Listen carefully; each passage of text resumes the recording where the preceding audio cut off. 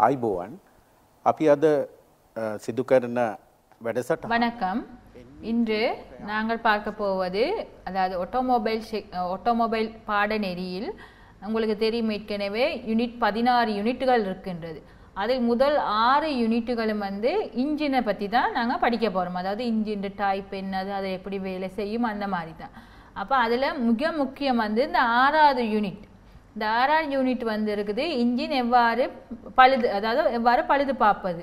அதில் ஒவ்வொரு பார்ட்ஸ்கள் அதாவது ஒவ்வொரு பகுதிகளையும் நாங்கள் எவ்வாறு பழுது பார்ப்பதுன்னு தான் நாங்கள் இந்த இன்ஜினை யூனிட் ஆறாவது யூனிட்டில் படிக்க போகிறோம் அதே நேரத்தில் இந்த யூனி எவ்வ எந்த அளவுக்கு என்விக்கு லெவல் ஃபோர் த்ரீ மாணவர்களுக்கு மாணவ மாணவர்களுக்கு முக்கியமோ அதே மாதிரி ஏ லெவல் அதாவது ஏ லெவல் படிக்கும் மாணவர்களுக்கும் இந்த தொழில்நுட்ப பாடநெறின்னு ஒன்று இருக்குது. அதுலேயும் இந்த இன்ஜினை பற்றி வர பாடம் இந்த பாடம் வந்து மிக மிக முக்கியமானது.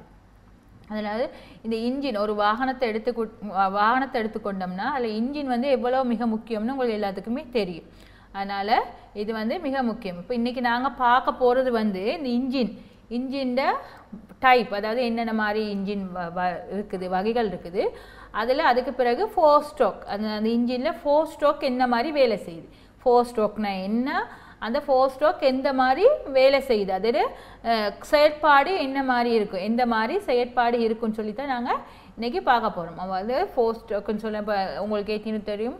டூ ஸ்ட்ரோக் ஃபோர் ஸ்ட்ரோக்குன்னு சொல்லி இருக்குது. அதில் நாங்கள் ஃபோர் ஸ்ட்ரோக்கை பற்றி இன்றைக்கி நாங்கள் கொஞ்சம் விரிவாக படிக்க போகிறோம் இந்த இன்ஜினை பற்றி இப்போ இன்ஜினை பற்றி நாங்கள் பொதுவாக எடுத்துக்கிட்டோம்னா வெஹிக்கல் அதாவது வாகனத்தை பொறுத்த வரைக்கும் இன்ஜின் மூலம் தான் வெஹிக்கல் ஒன்று இயங்குது. ஆனால் கூடுதலாக இப்போ வர வா வாகனங்கள் வந்து எலக்ட்ரிக்கல் சப்ளை மூலமும் இயங்குது. ஆனால் இன்ஜின் வந்து மிக முக்கியமானது. இன்ஜின் வந்து இயக்குறதுக்கு வந்து ஒரு சக்தி ஒன்று தேவைப்படும்.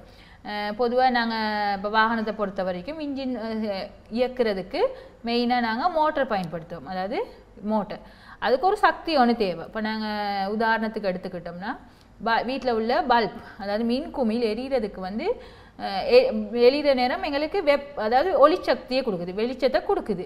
அது எப்படி கொடுக்குது? சும்மா நாங்கள் நாங்களாக உருவாக்க இயலாது. எங்களோட சக்தியை வந்து எங்களுக்கு உருவாக்க இயலாது. அதில் வந்து நாங்கள் என்ன செய்கிறோம் மின் சக்தி ஒன்று கொடுக்குறோம். அதாவது பவர் ஒன்று கொடுக்குறோம்.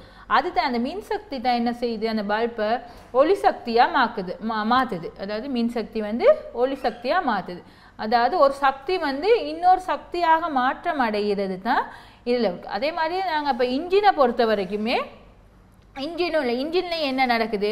ஒரு சக்தி நாங்கள் ஏதோ ஒரு சக்தி ஒன்று கொடுக்குறது அந்த சக்தி என்ன செய்யுது இயந்திர சக்தியாக மாற்றி வாகனத்தை இயக்க வைக்குது. அதாவது மே பொதுவாக ஒரு சக்தியை நாங்கள் ஒரு சக்தியை கொடுத்தா அது பலவேறு சக்திகளாக மாற்றமடைந்து எங்களுக்கு அது மாற்றமடைந்து ஒ- இயக்கிறது தான் எங்களோட சக்தி. இப்போ நாங்கள் மீன் குமிழ் எடுத்த மாதிரி ஒன்றுக்கும் இப்போ நாங்கள் பொதுவாக இன்ஜின்னு சொல்லி சொல்கிற நேரத்தில். இன்ஜின்னா என்ன? இப்போ இன்ஜின் ஒரு வளைவு வரைவிலக்கணம்னு நாங்கள் கொடுத்தோம்னா சொன்னால் சக்தியை மாற்றுறது. அதாவது சக்தியை ஒரு சக்தியிலேருந்து இன்னொரு சக்திக்கு மாற்றுறது தான் எங்களோட இன்ஜின்ட வேலை. அது நாங்கள் முத என்ன சக்தியை கொடுக்குறோமோ அந்த சக்தியை மாற்றும். அதாவது பொதுவாக நாங்கள் இன்ஜினுக்கு வந்து ரசாயன சக்தி ஒன்று கொடுத்தோம்னா அது என்ன செய்யும்? வெப்ப சக்தியாக மாற்றி அதுக்கு பிறகு இயக்க சக்தியாக மாற்றும் அப்போ நாங்கள் சக்தியை ஒரு சக்தியிலேருந்து இன்னொரு சக்தியை மாற்றுறது தான் எங்களோட இன்ஜின்ட வேலை. அதாவது ஒரு தாபசக்தி சக்தி. வந்து தாபசக்தி வந்து எரிசக்தியாக மாற்றுறது அதாவது ஹீட் ஆகி வெப்பம் மாற்றும். அதே மாதிரி இன்ஜின்ட அந்த நெறி எரிபட்டு நிலையை பொறுத்து இரண்டு வகைகளாக பிரிப்பாங்க. இரண்டு வகைகளாக பிரிப்பாங்க. அதில் ஒன்று வந்து வெளியே வெ வெப்பமாடு அதாவது பழைய காலத்தில் ஆதி காலத்தில் முன் முன்காலத்தில் என்ன செஞ்சாங்க? வெளியில தான் எரிபட்டு நிலையை உருவாக்குனாங்க. அதாவது நாங்கள் இன்ஜின் ஒன்று பவர் ஒன்று வரும். வர்ற நேரத்தில் சக்தி ஒன்று கொடுத்து அது வந்து வீல் மூலியமாக அதாவது ரோத மூலியமாக வாயுவோடு சேர்ந்து அது புகையாக எங்களோட இதை உண்டாகும் அதாவது எங்களோட வெஹிக்கலை இது நம்ம பழைய நீங்கள் பார்த்துருப்பீங்க புகை வண்டி எல்லாம் நிறைய புகைகளை கக்கி காக்கி கொண்டு போவோம் அதுக்கு இந்த நெருப்பு அதாவது தாப்ப சக்தி எரிசக்தியை கொடுப்பாங்க. அந்த வெப்பத்தை கொடுக்குற நேரத்தில் அதுதான் என்ன செய்யுது? இயந்திர சக்தியாக மாற்றி அந்த இயந்திரத்தை இயக்கு இயக்கும். அப்போ இந்த இது வந்து முன்காலத்தில் ஆதி காலத்தில் பயன்படுத்துகிறாங்க அதுக்கு பிறகு தான் இந்த தொழில்நுட்பம் வளர்ச்சி அடைய அடைய இது வந்து சூழலும் மாசடையும். இந்த இதால் புகைகள் நிறைய வெளியேறுற நேரத்தில் சூழல் வந்து எங்களோட சூழல் மாசடையும். அப்போ இந்த இதெல்லாம் கட்டுப்படுத்துறதுக்காக எங்களோட சூழலெல்லாம் கட்டு எங்களோட மாசடைகிறதெல்லாம் கட்டுப்படுத்துறதுக்காக தான் என்னது? உள்ளே எரிபற்று நிலை அதாவது எங்களோட இன்ஜின்குள்ளேயே ஒரு எரிபற்று நிலையை உருவாக்கி எங்களோட இன்ஜினை இயக்குறதுக்காக உருவாக்குனது தான் இப்போ நவீன காலத்தில் வர இன்ஜின்ஸ். எல்லா இப்போ எல்லா எல்லா வாகனத்துகளையுமே இப்போ பயன்படுத்துகிறாங்க இந்த அதாவது உள்ளே அதாவது உள்ளுக்காலே இன்ஜின் உள்ளுக்காலே எரிபற்று நிலையை உருவாக்கி அதிலேயே புகைகள் புகை வெளியிற வீதத்தை குறைக்கிறாங்க. அப்போ இதனால சூழல் மாசடைகிற சக்தி வந்து குறையுது. உதாரணத்துக்கு முதல் இன்ஜினை நாங்கள் எடுத்துக்கிட்டோம்னா டர்பைன் இன்ஜின் சொல்லி சொல்லுவாங்க. அதாவது ஜெட் இன்ஜின். அதே ஜெட் இன்ஜினை குறுக்கு வெட்டு முகத்தோட்டம் தான் இதில் காட்டியிருக்கு இந்த படத்தில். அதாவது என்ன செய்கிறாங்க ஒரு சக்தி ஒன்று உள் உள் உள்ளுக்கு விடுறாங்க. உள்ளுக்கு விடுற நேரத்தில் சக்தி வந்து என்ன செய்யுது சக்தி வந்து அதில் வாயுவோட சேர்ந்து ஒரு எரிப்பற்று நிலையை உருவாக்கிட்டு புகையை என்ன செய்யுது கக்கிட்டு தான். நீங்கள் உங்களுக்கு ஏற்கனவே தெரியும் ஜெட் போகிற நேரத்தில் என்ன மாதிரி போகும்ட்டு அப்போ அது புகையை கக்கி கொண்டு வெளியே அதாவது நெருப்பு நெருப்பு மாதிரி ஒரு புகை ஒன்று அப்போ வாயுவோடு என்ன செய்யுது இந்த இந்த எரிபொருள் அதாவது சேர்ந்து ஒரு அந்த ஒரு சக்தியை உருவாக்குது. இப்போ அடுத்து வந்து இது ரொட்டரி டைப் இந்த ரொட்டரி டைப் வந்து இது ஒரு இயந்திரம் அதாவது இது ஒரு இன்ஜின் வேலை செய்கிறது அதாவது ஃபோர் ஸ்டோக் எப்படி இந்த ரோட்டரி டைப்பில் எங்களுக்கு வேலை செய்யுதுன்ட்டு இது பொதுவாக மஸ்டா மஸ்டான்னு சொல்லி ஒரு கம்பெனியில் தான் இந்த மாதிரி தயாரிப்பு இப்போயும் தயாரிக்கிறாங்க. ஆனால் இது வந்து தயாரிக்கிற நேரத்தில் இதோட சேவை அதாவது பழுதடைகிற இது பழுதடைந்தால் ரிப்பேர் பண்ணுறது அதுக்கு பழுது பார்க்குறது வந்து மிக கடினம். ஆனால் மஸ்டா நிறுவனத்தில் இந்த தயாரிக்கிற வாகனங்கள் வந்து இந்த rotary type cum rotary type உள்ள கம்பெனி இன்ஜின் தான் வருகிறது. அப்போ எங்களுக்கு இலகுவாக இருக்கும். ஆனால் பழுதடைந்தால் அதை பழு திருப்பி பழுது பார்க்கறதுக்காக நிறைய சிலவு அதாவது சிலவு வந்து கூட. அப்போ அதெல்லாம் திருப்பி மற்றது நார்மலாக நாங்கள் யூஸ் பண்ணுறது நாங்கள் இப்போ பொதுவாக கூடுதலாக நூற்றுக்கு தொண்ணூறு மா வீதமான வாகனங்கள் யூஸ் பண்ணுறது வந்து பிஸ்டன் டைப் பிஸ்டன் உங்களுக்கு ஏற்கனவே தெரியும். பிஸ்டன் டைப் இன்ஜின் அதாவது ஒரு ஒரு பொதுவாக ஒரு இன்ஜின் வராது. ஒரு ஒரு சிலிண்டர் வராது. ரெண்டு மூணு சிலிண்டர் வரும். இப்போ இது இன்ஜின் இப்போ இன்ஜினில் நீங்கள் உங்களுக்கு விளங்கியிருக்கோம் இன்ஜினில் பிஸ்டன்ட வேலை. அதாவது பிஸ்டன் எப்படி மேலேருந்து கீழே போகுது. அதாவது டிடிசி மீட் பிடிசின்னு உங்களுக்கு தெரியும் ஏற்கனவே. அது எப்படி? என்னென்ன? சா அதில் மிக முக்கியமானது என்ன இருக்குன்ட்டுன்னு. பிஸ்டன் வந்து அதாவது இன்டர்னல் கம்பஷன் என்ன மாதிரி வேலை செய்யுது? அப்படின்னு சொல்லி உங்களுக்கு தெரிஞ்சிருக்கும். அதே மாதிரி கம்பஷன் பொதுவாக வாகனத்தை வந்து நாங்கள் பா பாவிக்கிற எரிபொருள்களை பொறுத்து. எரிபொருளை பொறுத்து நாங்கள் ரெண்டு வகைகள் பிரதான எரிபொருள். வந்து டீசல் பெட்ரோல். டீசல் பெட்ரோல் பிரதான எரிபொருள். இல்லாட்டி மண்ணெண்ணெய் பாவிப்பாங்க கேஸ் பாவிப்பாங்க. ஆனால் நாங்கள் கூடுதலாக பாவிக்கிறது வந்து டீசலும் பெட்ரோல். அதை பொறுத்து நாங்கள் பிரிக்கலாம். அதாவது அடிப்புகளை பொறுத்து ஃபோர் ஸ்ட்ரோக்கை பொறுத்து டூ ஸ்ட்ரோக் ஃபோர் ஸ்ட்ரோக்குன்னு சொல்லி நாங்கள் இன்ஜினை பிரிக்கலாம். அதாவது எங்களோட நாங்கள் பாவிக்க எரிபொருளை பொறுத்து வாகனங்களை இரண்டாக பிரிக்கலாம். டீசல் இன்ஜின் பெட்ரோல் இன்ஜின்ட்டு. அது அதை நாங்கள் பொதுவாக பிரிக்கலாம். டூ டூ ஸ்டோக் ஃபோர் ஸ்டோக்குன்னு சொல்லி இரண்டு வகைகளாக எங்களுக்கு இதை பிரிக்கலாம். அப்போ உங்களுக்கு தெரிஞ்சிருக்கும் இப்போ எப்படி நாங்கள் இதை பிரிக்கிறோம். அதாவது வாயு அது பொதுவாக உங்களுக்கு தெரியும். வாயுவோட டீசல் டீசல் வாகனத்தை நாங்கள் எடுத்துக்கிட்டோம்னா வாயுவோட இது இணைஞ்சு தான் எரிபட்டு நிலையம் உருவாக்குது. அதே நேரத்தில் பெட்ரோல் எடுத்துக்கிட்டோம்னா அதுக்குன்னு காபிலேட்டர் இருக்குது. உங்களுக்கு ஏற்கனவே அதை செய்கிற நேரம் உங்களுக்கு விளங்கும் எப்படி இருக்குண்டு இப்போ டீசல் வாங்க டீசல் இன்ஜின் அதாவது டீசல் இன்ஜினில் உள்ள பிஸ்டன் என்ன மாதிரி வேலை செய்யுது? பெட்ரோல் இன்ஜினில் உள்ள டீசல் பெட்ரோல் என்ன மாதிரி வேலை சிலிண்டர்ஸ் என்ன மாதிரி வேலை செய்யுதுன்னு சொல்லி. பொதுவாக டீசலில் என்னது? ஒரு இன் இன்ஜி இண்டிகேட்டர் அதாவது ஒரு இன்ஜெக்ஷன் இது இது ஒன்று இருக்கும் எரிபட்டு நிலையை உருவாக்குறது வந்து வாயு மூலமாக அதாவது எங்கிட்ட சூழலில் உள்ள வாயுவை பெற்று தான் அது என்ன செய்யுது? எரிபட்டு நிலையை உருவாக்குது. ஆனால் பெட்ரோல் இன்ஜினில் என்ன நடக்குதுன்னா காபிலேட்டர் இருக்குது. காபிலேட்டர் மூலியமாக தான் என்ன செய்யுது? ஃப்ளக் எரிபட்டு நிலையை உருவாக்கி அந்த பெட்ரோல் வந்து அந்த இன்ஜின் வந்து வேலை செய்யுது. அப்போ டீசல் இன்ஜினுக்கும் பெட்ரோல் இன்ஜினுக்கும் வித்தியாசம். அந்த ஒரு வித்தியாசம் அதாவது எரிபட்டு நிலையை உருவாக்குறதுக்கு வந்து இதில் வந்து காபில பெட்ரோல் இன்ஜினில் வந்து காபிலேட்டர் யூஸ் பண்ணுறோம் காபிலேட்டர் யூஸ் பண்ணி அதிக மூலியம் ஸ்பார்க் பிளக் மூலியமாக தான் இதில் எரிபட்டு நிலையை உருவாக்குது. டீசல் இன்ஜினில் வந்து நார்மலாக நார்மல் ஏரை பயன்படுத்தி இந்த கம்பஷன் கம்பஷன் சிஸ்டத்தை உருவாக்குது. இப்போ இது வந்து தான் எங்களோட சிலிண்டர் அதாவது நாலு சிலிண்டர் என்ன மாதிரி இருக்குன்ற ஒவ்வொரு சிலிண்டர் அதாவது கூடுதலாக ஒரு சிலிண்டர் இருக்கு ஒரு பிஸ்டன் உள்ள வாகனங்கள் வந்து சின்ன சின்ன சின்ன வெஹிக்கலில் தான் இருக்கும். கூடுதலாக ஒன்றோட கூடுதலான பிஸ்டன் உள்ள வெஹிக்கல்ஸ் தான் இருக்கும். பொதுவாக நாலு அஞ்சு ஆறு பன்னெண்டு மட்டும் இருக்கும். எங்களுக்கு விருப்பமான அளவுக்கு இருக்கும். இது வந்து என்னது? இன்லைன் அதாவது ஒரே லைன் நேர் லைனில் இருக்கும். அதே நேரத்தில் ரெண்டு பிஸ்டன் மேலே வேலை செய்யும். நாலு இது வந்து நாலு இருக்கிறனால ஒரே லைனில் இருக்குது. ஒன்றும் நாலும் ஒரே நேரத்தில் வேலை செய்யும் ரெண்டு மூணும் ஒரே நேரத்தில் வேலை செய்யும். ஸ்டாக் அதாவது இந்த மாதிரி வேலை செய்யுதுன்னு சொல்லி அதை விரிவாக பின்னுக்கு படிக்கிற நேரத்தில் உங்களுக்கு ஃபோர் ஸ்டாக் படிக்கிற நேரத்தில் உங்களுக்கு விளங்கும் என்ன மாதிரி இந்த இது வந்து சிலிண்டர்னு சொல்லி சொல்லுவோம் நாங்கள் அந்த பிஸ்டனை. அது எந்த மாதிரி எங்களுக்கு வேலை செய்யுதுன்னு சொல்லி தான் எல்லாம் இருக்குது. அதாவது டிரெக்டாக அது டிரெக்டாக இருக்கிறது. அடுத்தது வந்து வி ஷேப் வி ஷேப்புன்னு சொல்லி சொல்கிற நேரத்தில் இப்போ நாலு நாங்கள் நாலு பிஸ்டனே உதாரணத்துக்கு எடுத்துக்கிட்டோம். ரெண்டு பிஸ்டன் ஒரே சைடு ஒரே பக்கம். இப்போ இதில் அஞ்சு பிஸ்டன் இருக்குது. ஒரு அஞ்சு ஆறு இருக்குது. ஆறு பிஸ்டன் இருக்குது. மூணு பிஸ்டன் ஒரே எப்படி வேலை செய்யுது? அதாவது வி ஷேப்பில் வேலை செய்கிற நேரத்தில் அதாவது இந்த பெரிய வாகனங்களில் இந்த மாதிரி இன்ஜின் தான் இருக்குது. அதாவது பிஸ்டன் கூட கூட அது ஷேப்புகள் வந்து கூடும். அடுத்து வந்து என்னது?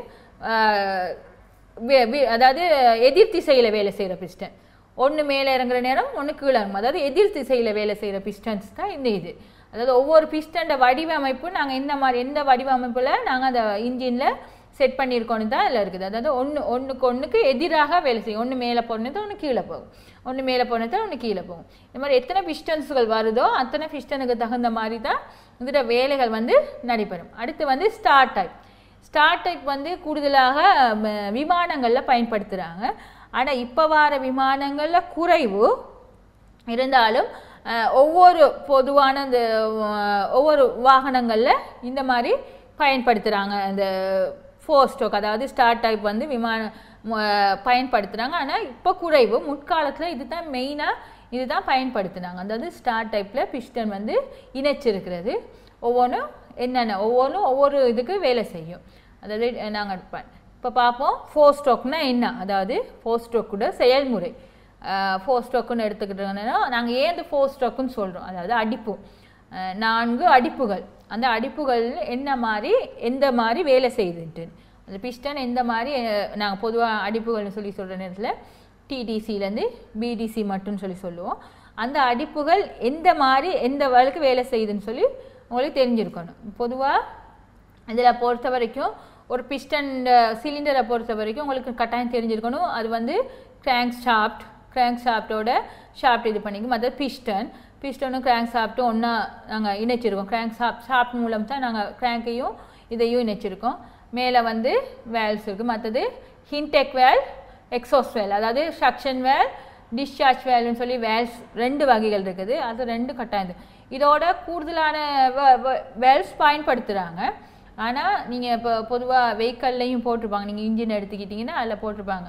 சிக்ஸ் வேல் ஃபோர் வேல் அப்படின்னு போட்டிருப்பாங்க. ஆனால் மெயினான பிரதானமான ரெண்டு வேல்கள் வந்து இந்த செக்ஷன் வேலும் டிஸ்சார்ஜ் வேலும் அதோட கூடுதலான வேல்கள் பயன்படுத்தப்படும். ஆனால் இன்டேக் வேலும் எக்ஸோஸ் வேலும் கட்டாயம் மெயின் அதாவது உள்ளிழுக்கும் வா- வேல்வும் வெளித்தள்ளும் வேல்வும் அது கட்டாயம் மிக முக்கியமானது ஒரு சிலிண்டர் இது மற்றது ஒவ்வொரு தொழில்முறைகளுக்கு ஏற்ப வே வேல்ஸுடைய எண்ணிக்கைகள் வந்து கூட்டுப்படலாம். அது பிரச்சனை இது இது ரெண்டும் மிக மிக முக்கியமானது இந்த வே வேல்ஸ்ன்னு சொல்லி சொல்கிற நேரத்தில்.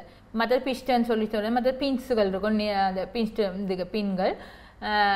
மற்றது பின்ஸ் இணைச்சிருக்கிறது. மற்ற வேல்வுகள்லாம் இருக்குது வேல் பிளைட் ஓரிங் இதுகளெல்லாம் இருக்கும். ஆனால் பிரதானமான ஓ- பிரதானமான பகுதிகள் வந்து உங்களுக்கு தெரிஞ்சிருக்கணும். இப்போ இது வந்து உங்களுக்கு தெரியும் டிடிசினா என்ன பிடிசினா என்ன ஒரு பிஸ்டன் வந்து டிடிசிக்கும் பிடிசிக்கும் போகிறது அதாவது கீழே நாங்கள் வேலை செய்கிற நேரத்தில் டிடிசின்னு சொல்லி சொல்கிற நேரத்தில் டாப் பிடிசின்னு சொல்லி சொல்கிறது பாட்டம் அப்போ அந்த ரெண்டுக்கும் நடக்கிற இது தான் அதாவது ரெண்டுக்கும் நடக்கிற பாதை அதாவது ரெண்டுக்கும் நடக்கிற அடிப்புகள் தான் நாங்கள் சொல்லுவோம். இந்த ஃபோர் ஸ்டோக்குன்னு சொல்லி. அப்போ ஃபிஸ்டன் என்ன மாதிரி வேலை செய்யுது? இப்போ டிடிசினா என்ன? பிடிசினா என்ன? டிடிசினா என்னது?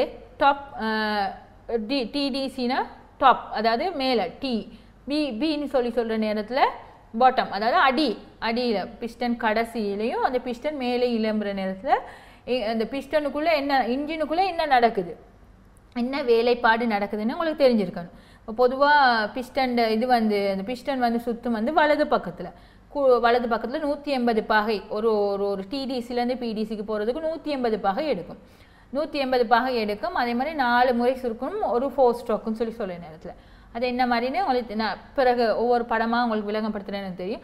வலது பக்கம் தான் பொதுவாக சுற்றுப்படும் ஆனால் சம்ம கொஞ்சம் சில வாகனங்களில் இடது பக்கம் சுற்றுறதும் இருக்குது ஆனால் பொதுவான முறை வந்து இந்த பிஸ்டன் வந்து எங்களை சுற்றுற முறை வந்து வலது பக்கமாகத்தான் இருக்கும்.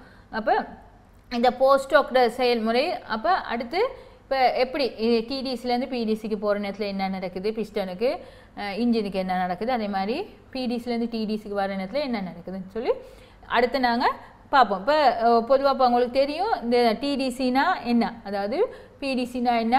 டிடிசினா என்னன்னு அதாவது டிடிசினா கீழே டப்பில் உள்ள ஒரு பிஸ்டனும் சிலிண்டருக்கும் உள்ள ஒரு இடைவெளி அதாவது சிலிண்டருக்குள்ளே தான் அந்த பிஸ்டன் வேலை செய்யும் அந்த சிலிண்டர் அந்த சிலிண்டர் வந்து மேலே மேல் மட்டத்துக்கு போகிறது தான் நாங்கள் சொல்லுவோம் டிடிசி கீழே இருக்கிறது தான் பிடிசின்னு சொல்லி சொல்லுவோம்.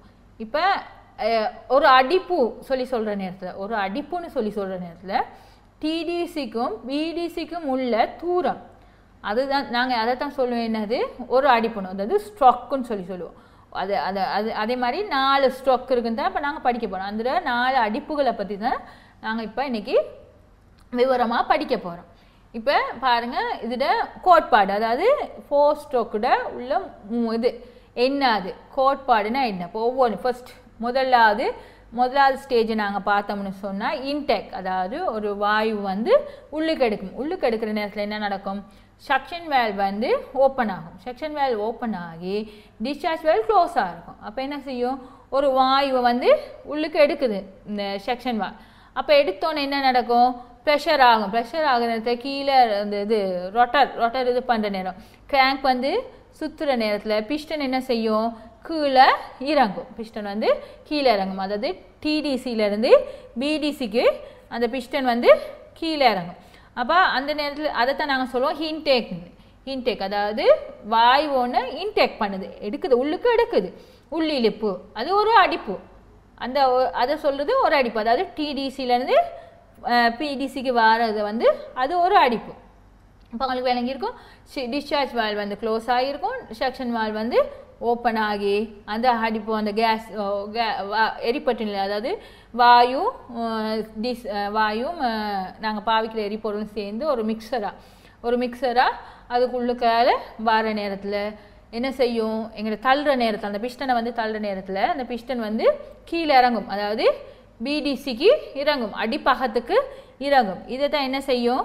இதை தான் நாங்கள் என்ன சொல்லுவோம்? ஹின்டேக் ஸ்ட்ரோக் அதாவது முதலாவது படிமுறை. எங்களோட நாலு ஸ்ட்ரோக் இருக்குன்னு தெரியும் உங்களுக்கு. நாலு ஸ்ட்ரோக்கில் முதலாவது படிமுறை வந்து இன்டேக் படிமுறை. இப்போ இன்டேக் படிமுறைக்கு அடுத்து வந்து இப்போ அடுத்த ஸ்டெப் வந்து நாங்கள் போவோம் இன்டேக் படிமுறை முடித்த பிறகு அடுத்து வந்து என்ன செய்யும்? இப்போ இப்போ ஃபஸ்ட் ஸ்டெப் முடிஞ்சிருச்சு. ஃபஸ்ட் ஸ்டெப் முடிஞ்ச பிறகு என்ன செய்யும்? அடுத்தது. ரெண்டாவது அதாவது இப்போ இன்டேக்கில் பிறகு அடுத்தது வந்து இப்போ இது பண்ணுற நேரத்தில் என்ன நடக்கும்? தொகுதி வந்து பெருசாகும். அதாவது அதில் கெப்பாசிட்டி வந்து கூடும். கேப் பண்ணு வரும் தானே? மேலே சிலிண்டர் மேத்துண்டுக்கும் டொப்புக்கும் பிடிசிக்குள்ள ஒரு கேப் பண்ணு வரும் அப்போ அந்த பரிமா அது கெப்பாசிட்டி கூடுற நேரத்தில் என்ன செய்யும்? வெளியே இருந்து அந்த இதை வந்து அமுக்கம். அமுக்கம் என்ன செய்யும்? குறையும். அந்த கெப்பாசிட்டி அதாவது இடங்கள் கூடுற நேரம் வெற்றிடங்கள் ஆகிற நேரம் அந்த இடம் வெற்றிடம் ஆகிற நேரம் அந்த இடம் கூடும். அப்போ அந்த நேரத்தில் என்ன செய்யும்? அப்போ தான் திருப்பி அடுத்த ஸ்டெப்புக்கு போகும். செகண்ட் ஸ்டெப் கம்பஷன் அதாவது அமுக்கத்தை அமுக்கமாகுது. இப்போ எரிபட்ட நிலையும் உருவாகணும். இப்போ திருப்பி என்ன செய்யணும்? கீழே இருந்து பிஸ்டன் வந்து மேலே போகும். மேலே போகிற நேரத்தில் என்ன நடக்கும்? அந்த இப்போ இப்போ வந்து இப்போ ரெண்டு வேல் வந்து க்ளோஸ் ஆகிடும் கூடு தேவையான அளவு எங்களுக்கு மிக்ஸ் வாயு வந்துருச்சு. வாயு வந்த பிறகு மற்ற டிஸ்சார்ஜ் வேலும் க்ளோஸ் செக்ஷன் வேலும் க்ளோஸ் ஆகிடும் அப்போ க்ளோஸ் ஆகணுன்னு என்ன நடக்கும் இது?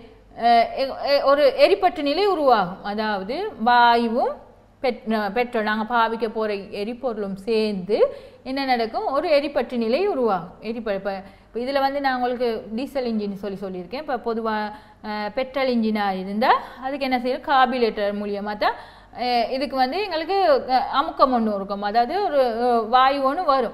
அதே வாயுவும் மிக்ஸ் ஸ்பார்க் மூ ஸ்பார்க் ப்ளக் மூலியமாக அதில் வந்து ஒரு எரிபட்டு நிலையை உருவாக்கும். இப்போ டீசல் இன்ஜின்னா எங்களுக்கு உங்களுக்கு தெரியும் நார்மல் அதாவது சாதாரண வாயு மூலியமாகவே இந்த எரிபட்டு நிலையை உருவாக்கும். அந்த டீசல் இன்ஜினுக்கும் பெட்ரோல் இன்ஜினுக்கும் உள்ள ஒரு மு மிக முக்கியமான வித்தியாசம் இது. அப்போ இது வந்து இப்போ டீ டீசல் அதுக்கு நான் பிறகு உங்களுக்கு உள்ள டிஃப்ரெண்ட்டாக சொல்லித்தரேன் உங்களுக்கு வித்தியாசத்தை. இப்போ கம்பஷன் மெத்தடில் வந்து இப்போ முடிஞ்சு இப்போ அதில் எரிபற்ற நிலையை உருவாகி அடுத்து மூணாவது ஸ்டேஜுக்கு போகும் அதாவது பவர் பவர் ஸ்டாக்குன்னு சொல்லி சொல்லுவோம். இப்போ என்ன செய்யணும்? இப்போ எரிபட்டு நிலையை உருவாக்கிட்டு அந்த இது வந்து ஒரு இன்ஜினே ஸ்டார்ட் பண்ணும். இப்போ பவர் ஸ்டாக் நேரத்தில் தான் என்ன செய்யும்? எங்களோட இன்ஜின் வந்து ஸ்டா ஸ்டார்ட் பண்ணும். இப்போ எப்படி கம்பஷன் மெத்தட் எப்படி முடிஞ்சோ அதே மாதிரி சக் இன்ஜின் வந்து ஒரு நீங்கள் சொல்லுவீங்க தானே? பொதுவாக சொல்லுவீங்க நூறு சிசி நூற்றி இருபது சிசி அப்படியே ஒவ்வொரு சிசி இருக்கும். அப்போ அந்த சிசி ஒரு பிஸ்டனை பொறுத்த வரைக்கும் அதுதான். நூறு சிசி நூற்றி இருபது சிசி அந்த அதாவது கெப்பாசிட்டி அந்த இன்ஜின்ட பவர் எந்த அளவுக்கு பவர் கொள்ற அளவு கொள்ளும் அளவு ஸ்பீடை பொறுத்தோ எந்தோ அதில் கொள்ளும் அளவை பொறுத்து தான் நாங்கள் சொல்லுவோம். இந்த பவர் ஸ்டாக்கை பொறுத்து தான் சொல்லுவோம். இத்தனை சிசி இந்த இன்ஜின் இருக்குது இத்தனை சிசி இன்ஜின் சொல்லி நீங்கள் உங்களுக்கு ஏற்கனவே தெரியும். அந்த மாதிரி. அதே மாதிரி இப்போ கூட கூட ப இன்ஜின் வாகனங்கள் பெரிதாக ஆக ஆக இன்ஜின் அதாவது சிலிண்டர்ஸ் கூடும். சிலிண்டர் கூடுற நேரத்தில் தான் நாங்கள் சொல்லுவோம் ஆயிரத்தி ஐநூறு. அதாவது சென்டிமீட்டர் கன இதில் சொல் கொள்ளளவில் கனளவில் சொல்கிறது கனளவில் சொல்கிற நேரத்தில் தான் சொல்லுவோம் ஆயிரத்தி ஐநூறு சிசி ஆயிரம் சிசி அப்படி ஒவ்வொரு சிசி சொல். சிசி சொல்கிறது வந்து கெப்பாசிட்டி அளவு. இப்போ அது இது தான் இப்போ மூணாவது உங்களுக்கு ஏற்கனவே தெரியும். இப்போ எக்ஸோஸ் அந்த அளவு படித்தோம் அடுத்து வந்து பவர் ஸ்டாக்லேருந்து இப்போ நாலாவது வந்து எக்ஸோஸ் அளவு அதாவது இப்போ உள்ளிழுத்த வாய் எல்லாத்தையுமே என்ன நடக்கணும்? இப்போ எக்ஸ்ட்ரா தேவையில்லாத வாயுவை வந்து வெளியேற்றணும். வெளியேற்றதுக்கு என்ன நடக்கும்? சக்ஷன் வேல் மூடி டிஸ்சார்ஜ் வேல் வந்து துறக்கும். இப்போ டிஸ்சார்ஜ் வேல் திறந்து தான் பொதுவாக வாகனத்தில் இருக்கும் சைலன்சர் சைலன்சர் மூலியமாக அந்த புகைகளை வெளியிடுறது. அதுக்கு தான் அந்த சைலன்சர்னு வச்சுருப்பாங்க. அப்போ என்ன நடக்கும்? அந்த கீழே உள்ளிழுத்த வாயு வந்து எக்ஸ் கம்பஷன் ஆகி எக்ஸோஸ் பவராக பவர் ஸ்ட்ரோக் ஒரு ஸ்ட்ரோக் ஆகி எக்ஸோஸ் பண்ணுது தேவையில்லாத புகைகளை என்ன செய்யுது வெளியிடுது இந்த டிஸ்சார்ஜ் மேல் மூலியமாக அப்போ உங்களுக்கு தெரிஞ்சிருக்கும் எப்படி இந்த லைன் அதாவது இந்த நேரத்தில் தான் அந்த பிஸ்டன்ட வேலை அதாவது பிஸ்டன் இது தான் அது எப்படி அதோட மூவிங்கை பொறுத்து தான் இது எப்படி எக்ஸோஸ் ஆகுது எக்ஸோஸ் ஆகிற நேரத்தில் டிஸ்சார்ஜ் வேல் ஒரு பொதுவாக சைலன்சரோ ஏதோ ஒரு வேல் ஒன்று மூலியமாக அதை நாங்கள் வெளியேற்றுவோம். தேவையில்லாத புகைகளை நாங்கள் வெளியேற்றுவோம். இந்த இது எக்ஸோஸில் இது இப்போ.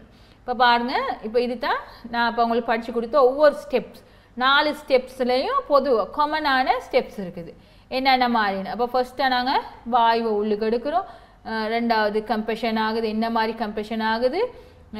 வாயுவை உள்ளுக்கு எடுத்தோடனே பிஸ்டன் வந்து மேலேருந்து கீழே வருது. டிடிசிலேருந்து பிடிசிக்கு வந்துடுது ஓகே வந்த பிறகு இப்போ என்ன செய்யுது? பிடிசிலேருந்து டிடிசிக்கு போகுது. டிடிசிக்கு போகிற நேரத்தில் பாதி இடத்துல தான் என்ன நடக்குது? கம்ப்ரெஷன் ஆகுது. பாதியில். கம்ப்ரெஷன் ஆகுது. கம்ப்ரெஷன் ஆகிட்டு அது ஒரு ஏற்பட்டது. அதுக்கு பிறகு என்னது பவர் ஸ்டாக்காக மாறுது. இப்போ கம்ப்ரெஷன் ஸ்டாக்ல இருந்து பவர் ஸ்டோக்காக மாறுது. அதாவது எரிபற்று நிலை கூடி எங்களோட வாகனத்தை ஸ்டார்ட் பண்ண தூண்டுகோலாக அமைகிறது வந்து இந்த பவர் ஸ்டோக்கில் தான். எனக்கு படித்து கொடுத்த சம் பவர் ஸ்டோக்கில் தான் இதில் முடியுது. அப்போ அந்த பவர் ஸ்டோக்கில் முடிஞ்சோடனே அது அதை தேவையான அளவை எடுத்த பிறகு என்ன செய்யும்? மிச்சத்தை மிகுதியை எக்ஸோஸ் பண்ணிடும். தேவையில்லாத வாயுவை தேவையில்லாத வெளியேற்றி விடும். தேவையில்லாத புகை புகையிலுத வெளியேற்றி விடும். அப்போ இது உங்களுக்கு விலங்கு இருக்கும் இப்போ ஃபோர் ஸ்டாக்னா என்ன? இப்போ ஒவ்வொரு ஸ்டெப்பும் அதுதான். இப்போ ஃபோர் ஸ்டாக் ஃபஸ்ட்டு வந்து என்னது? இன்டேக் பண்ணி கம்ப்ரெஷன் பண்ணி அடுத்து பவர் ஸ்டோக்கில் இப்போ இதில் வந்து உதாரணம் வந்து டீசல் இன்ஜின் இப்போ அந்த நெருப்பு மாதிரி படுது. அந்த படத்தில் மூணாவதுல பாருங்கள் நெருப்பு மாதிரி படுது. அதாவது எரிபற்று நிலை வந்து அந்த நேரத்தில் தான் எரிபற்று எரிபற்றுகிறது அதாவது வாயு நாங்கள் பாவிக்க போகிற எரிபொருள் என்ன எரிபொருள்? டீசலாக பெட்ரோலாதோ அந்த எரிபொருள் மூலியமாக ஒரு நெருப்பு ஒன்று உண்டாகுது. அந்த நெருப்பு உண்டாகி தான் எங்களை என்ன செய்தாங்க அங்கே ஸ்டார்ட் பண்ண ஆரம்பிக்குது. ஆரம்பித்து வச்சோன்னே தேவையில்லாத தூ இதுகளை புகையை என்ன செய்யுது எக்ஸாஸ் பண்ணுது. எப்படி நாங்கள் உள்ளுக்கு இழுத்தமோ எவ்வளோ வா வாய்வை உள்ளுக்கு இழுத்தமோ அதை பயன்பாட் பயன்பட்ட பிறகு மிகுதி என்ன செய்யுது அதை வெளியேற்ற பண்ணுது. அப்போ இப்போ இது உங்களுக்கு விளங்கிது ஃபோர் ஸ்டோக்னா என்னன்னு இது உங்களுக்கு நல்லா விளங்கி இருக்கணும் ஃபோர் ஸ்டோக்னா என்ன? அதாவது நாலு ஒவ்வொரு ஒரு இன்ஜின் ஒரு ஒரு பிஸ்டனை பொறுத்த வரைக்கும் அதில் அடிப்புகள் வந்து நாலு முறையாக இயங்கப்படும். நாலு முறைக்கு இயங்கப்படும். அந்த நாலு முறையும் என்னது? ஒவ்வொரு முறையும் நீங்கள் தெரிஞ்சிருக்கணும். அப்போ தெரிஞ்சால் தான் உங்களுக்கு பிஸ்டனை பற்றி தெரிஞ்சு இப்போ ஒரு இன்ஜி ஒரு நீங்கள் வாகனம் ஆட்டோமொபைல் பாடநெறியை மேற்கொள்கிற நீங்கள் ஒரு பிரதானமான இன்ஜினை பற்றி நல்லா விளங்க இப்போ இன்ஜினில் உள்ள வேலைப்பாடு அது எப்படி வேலை செய்யுது? இன்ஜின் எப்படி ஸ்டார்ட் பண்ணுறோம் அதில் பொருட்களை எப்படி நாங்கள் அதை இப்போ இன்ஜின் ஒவ்வொரு பொருளையும் பழுதடைகிறத பற்றி பார்ப்போம். அப்போ அதில் மெயின் இது மெயின் அது பிஸ்டன் பிஸ்டன்ட வேலைப்பாடு அந்த சரியான முறையில் சரியான டைமிங்கில் அது நடக்கணும். கொஞ்சம் டைமிங் வித்தியாசப்பட்டாலும் அந்த எங்களோட ஸ்டார்டிங் அதாவது இன்ஜின் ஸ்பீடோ இல்லாட்டி பிக்கப்போ ஒன்றுமே சரிவர நடக்க நடப்ப நடைபெறாது. அதனால் இந்த ஸ்பீட் வந்து அதாவது நாங்கள் எங்களோட ஃபோர் ஸ்டாக்ட வாகனத்தோட வேலைப்பாடு வந்து சரியாக அமையணும். அப்போ எங்களுக்கு தெரிஞ்சிருக்கும் இப்போ எப்படி இந்த வாகனத்தை நாங்கள் இது பண்ண போகிறோன்ட்டுன்னு பொதுவாக டீசல் இன்ஜின்னா சாதாரண வாயு. அதுக்கு தான் ஃபில்டர் போட்டிருப்போம் நாங்கள் முன்னுக்கு. ஃபில்டரும் ஏர் கிளீனர் மூலியமாக தான் எங்களுக்கு வாயு வந்து உள்ளுக்கு இழுக்கும். இதில் அவங்களுக்கு ஏற்கனவே தெரியும். பொதுவாக பெட்ரோல் இன்ஜின்லனா காபிலேட்டர் ஸ்பார்க் மூலி ப்ளக் மூலியமாக இது பண்ணும். இதுக்கு அப்படி இல்லை டீசலில் வந்து என்னது? ஏர் கிளீனர் போட்டு ஸ்டார்ட் பண்ணுறதுக்கு ஸ்டார்ட் பண்ணுறதுக்கு க இது பண்ணுறது அதே நேரத்தில் டீசல் இன்ஜின் இப்போ பெட்ரோல் இன்ஜினாக நீங்கள் நார்மலாக ஒரு மோட்டர் மோட்டர் இருக்கும் பெட்ரோல் இன்ஜினுக்கு அப்போ நீங்கள் ஸ்டார்ட் பண்ணிடலாம். ஆனால் டீசல் இன்ஜினை நீங்கள் ஸ்டார்ட் பண்ணுறது க சும்மா ஸ்டார்ட் பண்ணுறது மிக கடினம். அதுக்கு தான் சொல்லுது ஏன்னா இன்ஜெக்டர் வந்து இருக்குது. அது சரியான முறையில் வேலை செய்யணும். கொஞ்சம் பிழைச்சாலும் டீசல் இன்ஜின் ஸ்டார்ட் பண்ணுறதுக்கு வந்து உங்களுக்கு மிக கடினம். பெட்ரோல் இன்ஜின் ஸ்டார்ட் பண்ணுறது இலகுவாக இருக்கும். ஏன்னா மோட்டர்ஸ் மோட்டர் ஒன்று இருக்கும். மோட்டரை வச்சு நீங்கள் விரைவாக ஸ்டார்ட் பண்ணி விட்டுடலாம்.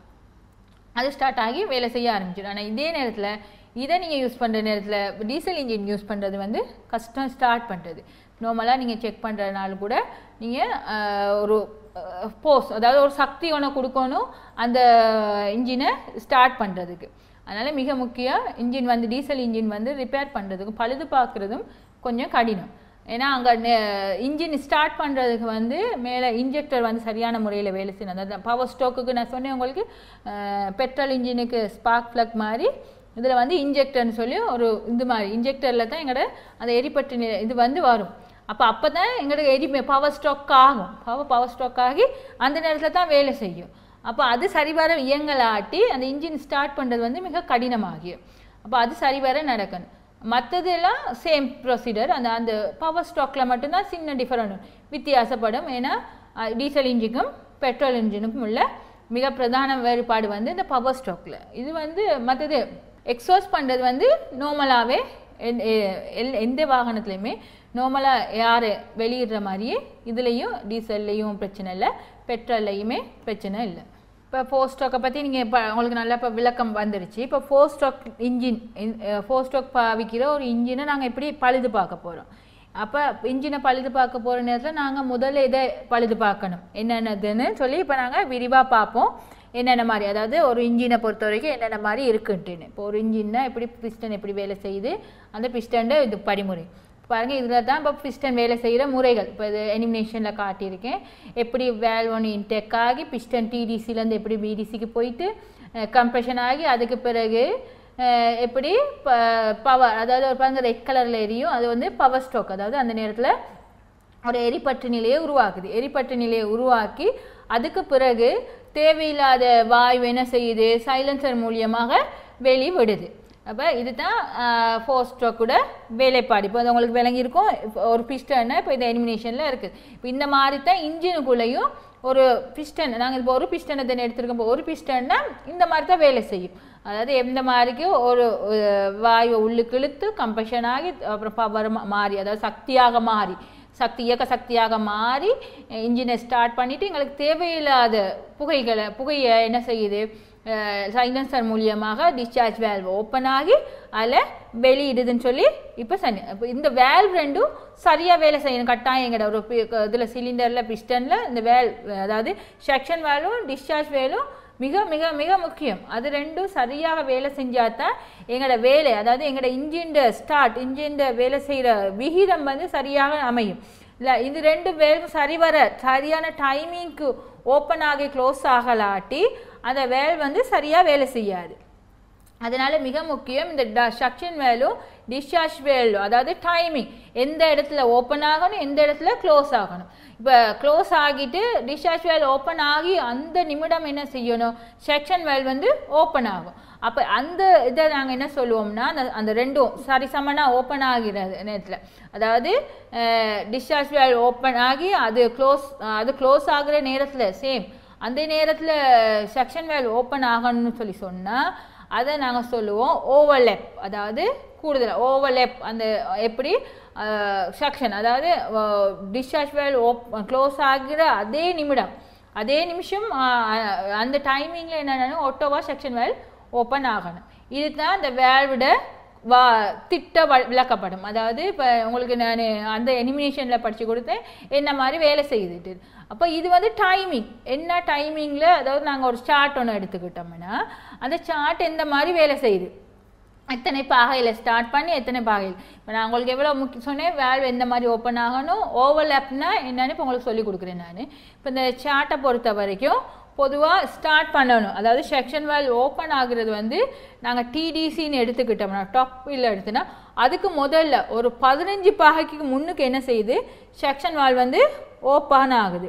ஓப்பன் ஆகுது இது வந்து பொதுவாக அந்த இந்த சாட் சார்ட் வந்து உங்களுக்கு diesel engine chart diesel engine ஒரு சார்ட் தான் இதில் படித்து கொடுக்குறேன் நான்.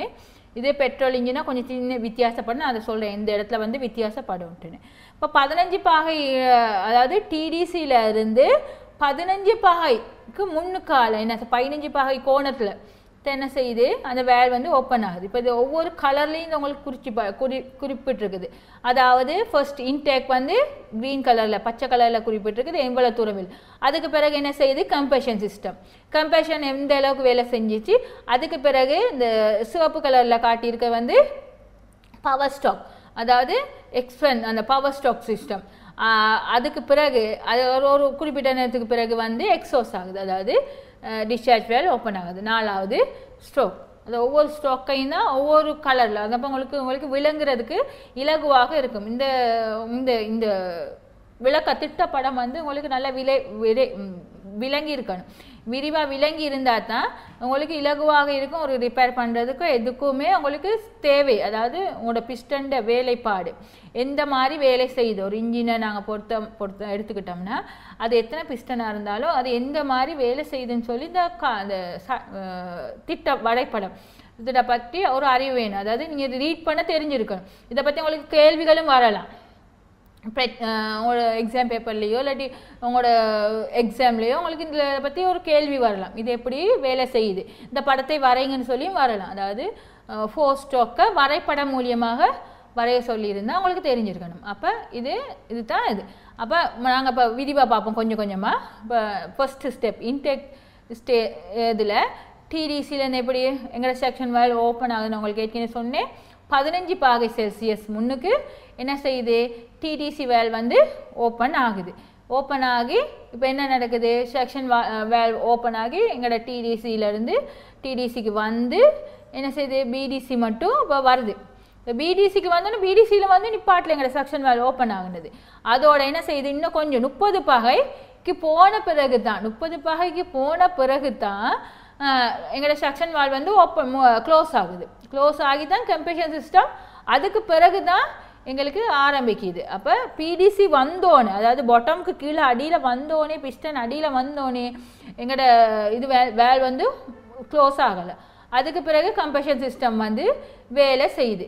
கம்பஷன் சிஸ்டம் வேலை செய்கிற நேரத்தில் எங்களுக்கு பொதுவாக இப்போ டீசல்னு சொல்லி சொல்கிற நேரத்தில் தான் அந்த இத்தனை பாகையில் அதாவது பொதுவாக ஒரு டிஸ்சார்ஜ் ஓப்பன் ஆகிறதுக்கும் இந்த எங்களை எக்ஸோஸ் ஆகுறதுக்கும் கொஞ்சம் வித்தியாசம் இருக்குது டீசல்னால் பெட்ரோல்னா அஞ்சு பாகை இல்லை ஓப்பன் அஞ்சு பாகை மட்டும் வர நேரத்துலையோ ஓப்பன் ஆகிரும் எக்ஸோஸ் ஆகிரும். இல்லை டீசல்னால் கொஞ்சம் லேட் ஆகும் எக்ஸோஸ் ஆகுறது ஏன்னா பவர் ஸ்டாக்குக்கு மாறுறதுக்கு. ஏன்னா எங்களோட இது வந்து டீசல் இன்ஜின்ட க வேலைப்பாடு க்ரி- வேலைகள் வந்து அது கொஞ்சம் வித்தியாசப்படும். அதனால இப்போ இது வந்து எக்ஸோஸ் அதாவது கம்பஷன் சிஸ்டத்துலேருந்து பவர் ஸ்ட்ரோக் மாறுறதுக்கு முப்பத்தஞ்சு பாகை எடுக்குது. அப்போ அது வந்து ஸ்லோவாக இப்போ இன்ஜின் ஸ்பீட் ஆகிற நேரத்துலையும் இதில் டைமிங் வந்து வித்தியாசப்படலாம். அதாவது கோணம் அமைப்பு வந்து ஒவ்வொரு ஸ்பீடுக்கு பொறுத்த வரைக்கும் அந்த இது சரியான அளவுல ஆனால் இது திட்டம் நியம அழகு நியம அழகோட சின்ன ஒரு டிஃப்ரெண்ட் ஒரு வித்தியாசப்படலாம். அந்த அழகுகளோட அந்த ஆனால் அந்த அதுக்குள்ளே தான் இருக்கணும்.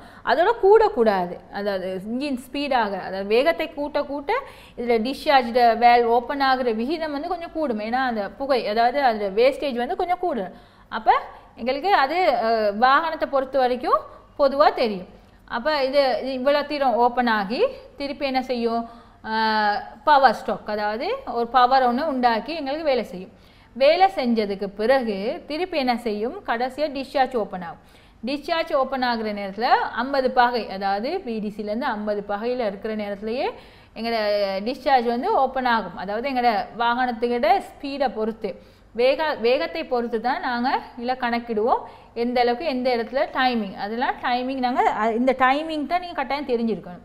இந்த டைமிங் எப்படி நாங்கள் செட் பண்ணுறோன்ட்டுன்னு அப்போ இதே பொதுவாக இதில் அங்கே ஒரு பதினஞ்சு பாகை சேர்ந்து எத்தனை பாகையில் திருப்பி டிஸ்சார்ஜ் ஓப்பன் ஆகுதுட்டு டிஸ்சார்ஜ் ஓப்பன் ஆகும் பொதுவாக ஐம்பது பாகை அந்த ஏற்கனவே டிஸ்சார்ஜ் ஓப்பன் பண்ணுறதுக்கு இந்த இருக்கிற அந்த அந்த ஐம்பது பாகையோடு சேர்த்து இன்னொரு நூற்றி எண்பது பாகை அதாவது பொதுவாக ஒரு டிடிசிக்கும் பிடிசிக்கும் உள்ள பாகை வந்து நூற்றி எண்பது பாகைன்னு உங்களுக்கு தெரியும். அதோடு சேர்ந்து இன்னொரு இருபது பாகை சேர்ந்து தான் என்ன செய்யும்? இரநூறு இரநூத்தி ஐம்பது பாகை சேர்ந்து தான் இந்த டிஸ்சார்ஜ் ஓப்பன் பண்ணுறதுக்கு எங்களுக்கு வேலை செய்யும். இந்த டிஸ்சார்ஜ் பண்ணுறது டிஸ்சார்ஜ் ஆகும். அப்போ அந்த டிஸ்சார்ஜ் பண்ணிக்கிட்டு வர நேரத்தில் திருப்பி என்ன செய்யும்? சக்ஷன் இன்டேக் பண்ணுறதுக்கு உள்ள அந்த வித்தியாசம் வந்து எவ்வளவோ? முப்பத்தஞ்சு பாகை. அதாவது பதினஞ்சு பாகை ஏற்கனவே எங்களுக்கு தெரியும். ஒரு பதினஞ்சு பாகையில் தான் பதினஞ்சு அதாவது டிடிசியிலேருந்து டிடிசி அதாவது பிஸ்டன் டொப்பில் இருக்கிற நேரம் முன்னுக்கு பதினஞ்சு பாகை இருக்கிற நேரமே எங்களுக்கு ஓப்பன் ஆகும்னு எங்களுக்கு தெரியும். அப்போ அந்த பதினஞ்சு பாகையும் இது இருபது பாகை இருக்கிற டிஃபரெண்ட் இருக்குது. எங்களுக்கு அதாவது கம் இது இந்த டிஷ் எக்ஸோஸுக்கும் இதுக்கும் உள்ள அந்த இருபது பாகை செல்சியஸ் அந்த மேலே பாருங்க மார்க் பண்ணியிருக்காங்க. அப்போ அது சேர்ந்தது தான் முப்பத்தஞ்சு பாகை. அந்த முப்பத்தஞ்சு பாகையோட சேர்ந்து தான் எங்களுக்கு என்ன ஓவர்லேப் அந்த அந்த ஓவர்லேப் ஓவர்லேப்னு சொல்லி அந்த ஒரு இதுக்கு வரும். அந்த பிஸ்டன் வந்து அந்த ஒரு ஸ்டேஜுக்கு வரும். ஓவர்லேப்டு ஸ்டேஜுக்கு வரும். அப்போ இப்போ உங்களுக்கு விளங்கியிருக்கும் கம்பஷனுக்கு என்ன மாதிரி? நூற்றி எழுபது அதாவது நூற்றி ஐம்பது இருபது இரநூத்தி ஐம்பது பாகி செல்சியஸ் வர நேரத்தில் அந்த இது இப்போ ஒரு ஒரு வட்டத்தை பொறுத்துக்கிட்டோம்னா நாங்கள் ஏழு முந்நூற்றி அறுபது முந்நூற்றி அறுபது பாகை தான் நாங்கள் போய் பிரிக்கிறோம். பிரித்து தான் இப்போ நாங்கள் இந்த வேலை இந்த இது வரைபடத்தை வரைஞ்சிருக்கோம் விளக்கப்படத்தை வரைஞ்சிருக்கோம் திட்ட விளக்கப்படத்தை. அப்போ இப்போ ஓவலப் எத்தனை பாகையில்? எங்களுக்கு ஓவலப் ஸ்டேஜ்னு எங்களுக்கு உங்களுக்கு வேலைங்க. அதாவது முப்பத்தஞ்சு பாகையில்.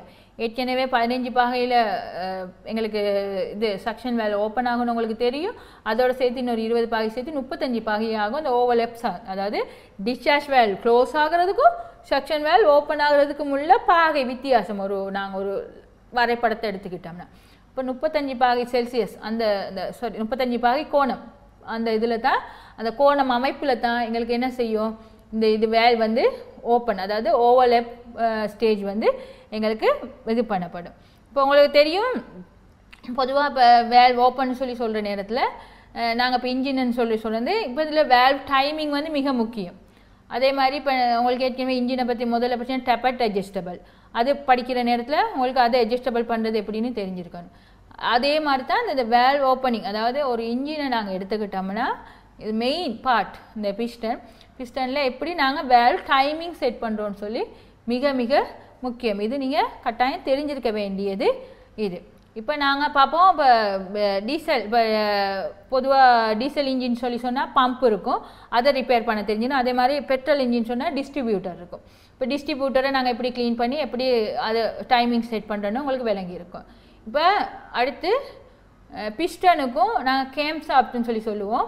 அந்த கேம்ஸ் சாப்ட்டுக்கும் பிஸ்டனுக்கும் இல்லை எப்படி அந்த வீல் வந்து சுற்றுது அதாவது எப்படி சம்மந்தப்படுத்தி எங்களோட இன்ஜின் வந்து வேலை செய்யுதுன்னு சொல்லி தான் இதில் இந்த படத்தில் காட்டப்பட்டிருக்குது. பொதுவாக மூணு முறைகளில் பிஸ்டனையும் கேம் சாப்டையும் நாங்கள் இணைப்போம். மூணு முறைகள். ஒரு முறை வந்து பெல்ட் இப்போ ஃபஸ்ட் வந்து நாங்கள் பெல்ட் முறையில் நாங்கள் இந்த வேல்வோட இதை இணைக்கலாம். அதாவது பொறிமுறை எப்படி இந்த வேல்வுக்கும் பிஸ்டனுக்கும் தொடர்பு இருக்குன்னு தான் நான் காட்டுறோம். இப்போ இல்லை முதலாவது இங்கிட்டு உள்ள பாடத்தில் வந்து பெல்ட்டால் இணைச்சிருக்கோம். வேல்வையும் இதையும். பிஸ்டண்டு கிராம் சாப் கேம் சாப்டையும் பிஸ்டன் கிராங்க் சாப்டையும் சேர்த்து நாங்கள் என்ன செஞ்சுருக்கோம்? பெல்ட்டால் இணைச்சிருக்கோம். அதே மாதிரி இப்போ அடுத்தது ரெண்டாவது வந்து இதில் செயின் மூலியமாகவும் இணைச்சிருப்போம்.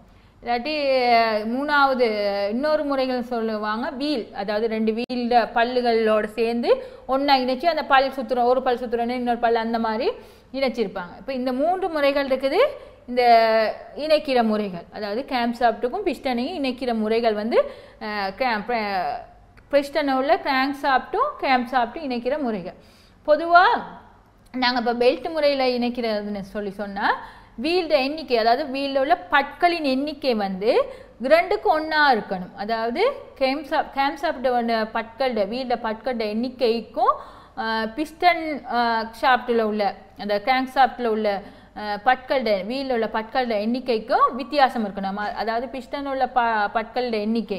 பிஸ்டன் கிராம் ஷாப்டில் உள்ள வீல்ட பட்களோட எண்ணிக்கை பதினைந்தாக இருந்தால் கேம்ப் சாப்பிட்டு உள்ள பட்களோட எண்ணிக்கை வந்து வீல்ல உள்ள எண்ணிக்கை வந்து முப்பதாக மாறும். அதாவது இரண்டு மடங்காக இரண்டுக்கு ஒன்று விகிதத்தில் தான் இந்த பட்களோட எண்ணிக்கை வந்து எங்களுக்கு செஞ்சுருக்காங்க. அப்போ எங்களுக்கு அதாவது அந்த ஸ்பீட் எப்படி இருக்குன்ட்டுன்னு. அதாவது பிஸ்டண்ட வீல்ட எண்ணிக்கை எந்த ஸ்பீடாக சுற்றுற நேரத்தில் அந்த மேலே கேம்சாப்ட வீல் வந்து எந்த ஸ்பீடில் சுற்றணும் இது ஒரு ஒரு ரவுண்ட் சுற்றுற நேரத்தில் அது ரெண்டு ரவுண்ட் சுற்றுற மாதிரி. அதாவது ஸ்பீட் அது பிஸ்டன் தானே மிக முக்கியம் எங்களுக்கு. அப்போ அது பெரிய வீலாக இருக்கும். இதில் வந்து பிஸ்டண்ட கிராம்ப் சாப்பில் இணைச்சிருக்க வீல் வந்து மிக சிறியதாக இருக்கும். அப்போ இது எங்களுக்கு இப்போ உங்களுக்கு விளங்கியிருக்கும். எப்படி இந்த கேம்ப் சாப்பிட்டுக்கும் கிராங்க் சாப்பிட்டுக்கும். கேம்பும் கிராங்க் இது ரெண்டுக்கும் எப்படி இணைச்சு எப்படி ஒரு இணைப்பு உருவாக்கியிருக்காங்கன்னு. எந்த விகிதத்தில் இணைப்பை உருவாக்கியிருக்காங்கன்னு இப்போ உங்களுக்கு விளங்கியிருக்கும். இப்போ இன்ஜினை பொறுத்த வரைக்கும் என்ன மாதிரி இன்ஜின் அதாவது பிஸ்டன் எந்த மாதிரி வேலை செய்யுது? எந்த ஸ்பீடுக்கு வேலை செய்யுது? கேம்சாப்டில் உள்ள ஸ்பீடை பொறுத்து இந்த பிஸ்டனில் உள்ள வீலை பொறுத்து தான் நாங்கள் அந்த பெல்ட் மூலியமாக இணைச்சிருக்கோம். பெல்ட்டில் உங்களுக்கு நான் கட்டாயம் விளங்கியிருக்கணும் கேம் சாப்பிட்டு ரெண்டு மடங்காக இருந்தால் பிஸ்டன் உள்ள கிராங்க் சாப்பிட்டு வீல்கள். வீல்களில் பட்களின் எண்ணிக்கை வந்து ஒன்றாக இருக்கும். இரண்டுக்கு ஒன்றாக இணை இருக்கும். அப்போ இதை பற்றி உங்களுக்கு விளங்கி இருக்கும். அடுத்து நாங்கள் பார்ப்போம். இப்போ இவ்வளோ விளங்கிருச்சு இப்போ இப்போ டீசல் இன்ஜின்னா இப்போ டீசல் இன்ஜின் வேலை செய்கிறது இது வந்து டீசல் இன்ஜின் ஃபோர் ஸ்டோக் என்ன மாதிரி? ஏற்கனவே உங்களுக்கு ஒரு அனிமினேஷன் காட்டினேன் உங்களுக்கு. என்ன மாதிரி? இது இப்போ சிலிண்டரோட இந்த பிஸ்டன் வேலை செய்கிற முறைகள் தான் எல்லாம் காட்டியிருக்கேன். அதாவது எப்படி லைன் வந்து எப்படி வருது? இப்போ மேலே ஒரு இன்ஜெக்டர் பம்ப் இருக்குது அதாவது இன்ஜெக்டர் பம்ப் ஒன்று இருக்குது. அந்த பம்ப் மூலியமாக தான் எங்களுக்கு எரிபொருள் வருது எரிபொருளும் வாயு மிக்ஸ் மிக்சர் ஒன்று வந்து பாருங்கள் அது ரெட் கலராக பத்து கம்பஷன் வந்து கம்பஷன் மேலே போயிட்டு என்ன நடக்குது? எங்களுக்கு பவர் ஸ்டோக்காக மாறுது. பவர் ஸ்டோக்காக மாறி அதுக்கு பிறகு என்ன செய்யுது? தேவையில்லாத வாயுவை வந்து எக்ஸோஸ் பண்ணுது. இதை நான் ஏற்கனவே முதல்ல ஒரு படத்தில் உங்களுக்கு அனிமேஷன் காட்டினேன். அதே மாதிரி இது அது வந்து சும்மா நார்மலாக இருக்குது. இதில் வந்து ஒரு சிலிண்டரோட ஒரு பிஸ்டனு கிராங்க் சாஃப்ட் இந்த மாதிரி வேலை செய்யுதுன்னு. அதாவது கிராங்க் சாஃப்டோட கிராங்க் சாஃப்ட் எப்படி ஜாயின் பண்ணி அந்த அந்த ஸ்பீடுக்கு எப்படி பிஸ்டன் வேலை செய்யுது? அந்த ஏஆர் வர்றது எந்த மாதிரி வருது? எந்த ஸ்பீடுக்கு வருது? எங்களோட வேலை செய்கிற ஸ்பீட் அந்த சார்ட் இந்த கி- பின்னுக்கு அந்த உங்களுக்கு பாருங்கள் ரெட் கலர் ப்ளூ கலர் மறைஞ்சு இது பண்ணு அதே மாதிரி தான் இப்போ இது ஃபோர் இப்போ ஒரு இப்போ இவ்வளோ நேரம் படித்தோம் ஒரு சிங்கிள் பிஸ்டனாக இருந்தால் ஒரு பிஸ்டனாக இருந்தால் என்ன மாதிரி வேலை செய்யுது? அதாவது ஒரு பிஸ்டன்னா அதுக்கு ஒரு ஒரு பிஸ்டனில் நாலு அடிப்புகளும் ஒரே நேரத்தில் அதாவது ஸ்டெப் பை ஸ்டெப்பாக நடக்கும். அதே நேரத்தில் நாலு இன்ஜி நாலு பிஸ்டனோ ஆறோ எட்டோ அப்படி எங்களுக்கு விருப்பமான அளவுக்கு எந்த அளவுக்கு இருக்குதோ அது இப்போ ஒரு பிஸ்டனாக இருந்தால் அந்த ஒரு பிஸ்டனை தான் என்ன நடக்கும்? ஒரு அடிப்பு ஒரு நாலு ஸ்ட்ரோக்கு முடிகிறதுக்கு எழுநூற்றி இருபது பகை செ- பகை கோணம் எடுக்கும். அதாவது எழுநூற்றி இருபது நூற்றி எண்பது பகையின்படி நாலு. அது நாலும் ஒரு பிஸ்டனில் நடைபெறும் கட்டாயம். அதே நேரத்தில் இப்போ நாலு பிஸ்டனாக இருந்தால் அது என்ன செய்யும்? நான்காக பிரித்து கொஞ்சம் கொஞ்சமாக வேலை செய்யும். ஆனால் ஒரு பிஸ்டன் அந்த நாலு அடிப்பும் சரியாக செய்யும். அதே நேரத்தில் இப்போ ஒ- ஒரே நே ஒரு பிஸ்டனாக இருக்கிற நேரத்தில் அது ஒன்று ஒன்று தனித்தனியாக தான் செய்யணும். இதே ஃபோ நாலு பிஸ்டனாக இருக்கிற நேரத்தில் என்ன நடக்கும்? நாலுடையும் ஒரு நேரத்தில் ஒரு அடிப்பு ஒரு பிஸ்டனில் நடக்கும். பொதுவாக முதலாவதும் நாலாவதும் ஒரே நேரத்தில் இயங்கும். ஒரே நேரத்தில் மேலே கீழே போகும். அதே மாதிரி ரெண்டு மூணும் ஒரே நேரத்தில் இயங்கும். ஆனாலும் ஒன்று இன்டேக் பண்ணுற நேரத்தில் ஒன்று எக்ஸோஸ் பண்ணும். இல்லாட்டி பவர் டெக் பண்ணோம். அது அந்த சார்ட் அந்த மாதிரி அதுக்கு பிறகு பார்ப்போம். நாங்கள் இப்போ சார்ட்டை பார்ப்போம். இது வந்து அந்த மாதிரி தான் நடக்குது. பாருங்கள் ஒவ்வொன்றும் வித்தியாசம். அதாவது ஒரே நேரத்தில் தான் மூவ் ஆகும். டைமிங் அதில் ஒர்க்கிங் டைமிங் வந்து ஒரே நேரமாக இருந்தாலும் அதோட வேலைகள் வந்து அதாவது அந்த நேரத்தில் அது செய்கிற அடிப்புகளோட வித் வே- இது வந்து வித்தியாசப்படும். நாலு பிஸ்டனும் நாலு அடிப்புகளையும் ஒரே நேரத்தில் எங்களுக்கு கொடுக்கும். அதாவது ஒரே ஒரு ஒரு வேல் ஓப்பன் ஆகி ஒரு பாருங்க வேல் ஓப்பன் ஆகுறது இதுதான் அந்த எனிமினேஷனில் காட்டுறாங்க. இந்த ஃபோர் ஸ்டாக்கோட வேலை வந்து ஒரே நேரத்தில் இது பண்ணும். ஒரு பிஸ்டனுக்கும் நாலு பிஸ்டனுக்கும் உள்ள வித்தியாசம் இதுதான். இப்போ நாலு சிலிண்டர் இருக்கிற நேரத்தில் என்ன செய்யும்? அந்த வில வ- இது வந்து எப்படி அந்த படம் அதாவது எப்படி வேலை செய்யுது? இப்போ முதலாவது ஒரு இடத்துல ஒரு நிலையில் இருக்கிற நேரம் இரண்டாவது எந்த நிலையில் இருக்கும்? மூணாவது எந்த நிலையில் இருக்கும்? நாலாவது எந்த நிலையில் இருக்கும்? அதே மாதிரி எத்தனை பிஸ்டன்கள் இருக்கோ அந்த மாதிரி நாங்கள் பார்க்கலாம். எந்த மாதிரி இருக்குதுன்னு. அதுக்குன்னு ஒரு சார்ட் ஒன்று தனி ஒரு சார்ட் ஒன்று இருக்குது. அந்த சார்ட்டை நீங்கள் பார்க்கலாம். இப்படி எங்களுக்கு கொடுத்துருக்காங்க. அந்த சார்ட்டை பற்றி உங்களுக்கு கட்டாயம் தெரிஞ்சிருக்கணும். அதாவது நாங்கள் அந்த சார்ட்டு சொல்லுவோம் நாங்கள் இந்த ஃபோர் ஸ்டோக் ஒவ்வொரு ஸ்டொக்கை பொறுத்து ஒவ்வொரு இன்ஜின் எத்தனை பிஸ்டன் இருக்கோ பிஸ்டனை பொறுத்த வரைக்கும் எங்களுக்கு அந்த ஒவ்வொரு சார்ட் இருக்குது. அப்போ அந்த சார்ட்டை பற்றி நீங்கள் கொஞ்சம் விளங்கி இருக்கணும். அந்த எப்படி அந்த சார்ட்டை நாங்கள் எப்படி ரீட் பண்ணுறது எந்த மாதிரி ரீட் பண்ணுறதுன்னு சொல்லித்தான் இப்போ அடுத்து நாங்கள் பார்க்க போகிறோம் என்ன மாதிரி அந்த சார்ட்டை ரீட் பண்ண போகிறோன்ட்டுன்னு இதுதான் இந்த பைரிங் சார்ட்டுன்னு உங்களுக்கு சொன்னேன் நான். பாருங்கள் எத்தனை இப்போ பின்னுக்கு எந்த பக்கம் இருக்குது. சிலிண்டர் அதாவது இந்த சார்ட்டில் எந்த எந்த எந்த மாதிரி இருக்குன்ட்டுன்னு எத்தனை சிலிண்டர் இருக்குதோ சிலிண்டருக்கு தகுந்த மாதிரி அதை சார்ட்டோட அமைப்பு இருக்கும். இப்போ இது வந்து நாலு சிலிண்டர் உள்ள ஃபயரிங் ஆர்டர்ஸ் தான் இதில் இருக்குது. அப்போ ஒவ்வொரு சிலிண்டர்லையும் அந்த கிராங்க் சாப்பிட்டு டயக்ராம் எந்த மாதிரி வேலை செய்யும்? முதலாவது சிலிண்டர் எந்த மாதிரி எந்த இடத்துல இருக்கும்? ரெண்டாவது சிலிண்டர் அதே ஒன்றாவது இடத்து இரு இடத்துல அதாவது ஒவ்வொரு பாகை செல்சியஸ் நாலாக பிரிச்சிருக்காங்க. சைவர்லேருந்து நூற்றி ஐம்பது நூற்றி ஐம்பதுலேருந்து முந்நூற்றி அறுபது முந்நூற்றி அறுபதுலேருந்து ஐநூற்றி நாற்பது ஐநூற்றி நாற்பதுலேருந்து எழுநூற்றி இருபது இப்படி நாலு ஸ்டேஜாக பிரிச்சிருக்காங்க. நாலு ஸ்டேஜ்லேயும் ஒவ்வொன்றும் ஒவ்வொரு சிலிண்டரும் எந்த ஸ்டேஜில் இருக்கும்? என்ன ஸ்ட்ரோக்கில் எந்த அடிப்பில் இருக்குன்னு சொல்லி நாங்கள் அந்த சார்ட்டை பற்றி நம்ம விவரமாக படிச்சுக்கலாம். இப்போ இந்த சார்ட்டோட அறிவு அதாவது இந்த ஃபயரிங் சார்ட்டோட உள்ள நாலேஜ் வந்து எங்களுக்கு கட்டாயம் தேவை. இது எப்படி எப்படி இந்த சார்ட்டை நாங்கள் எப்படி ரீட் பண்ணணும் என்ன மாதிரி ரீட் பண்ணணும்னு சொல்லி எங்களுக்கு கட்டாயம் அது தெரிஞ்சிருக்கணும். இப்போ நாங்கள் முதலாவது இப்போ இதில் இருக்குது ஒவ்வொரு சார்ட்டோட அடிப்புகளையும் பற்றி கீழே இருக்குது ஃபயரிங் ஆர்டர்னு சொல்லி கீழே ஒரு டேபிள் ஒன்று கொடுத்துருக்காங்க. அதில் மூணு ஆர்டர்ஸ் கொடுத்துருக்காங்க. அந்த ஆர்டர்ஸை பற்றி தெரிஞ்சுக்கணும். அதே மாதிரி சிக்ஸ் சிலிண்டர் ஆர்டர்ஸும் அங்கிட்ட இருக்குது. அப்போ நாங்கள் பொதுவாக இப்போ சார்ட்டை எடுத்துக்கிட்டோம்னா சார்ட்டோட ஒவ்வொருட அந்த தயாரி தயாரிப்பாளர்களோட வந்து இதை பொறுத்து அதாவது அவங்களோட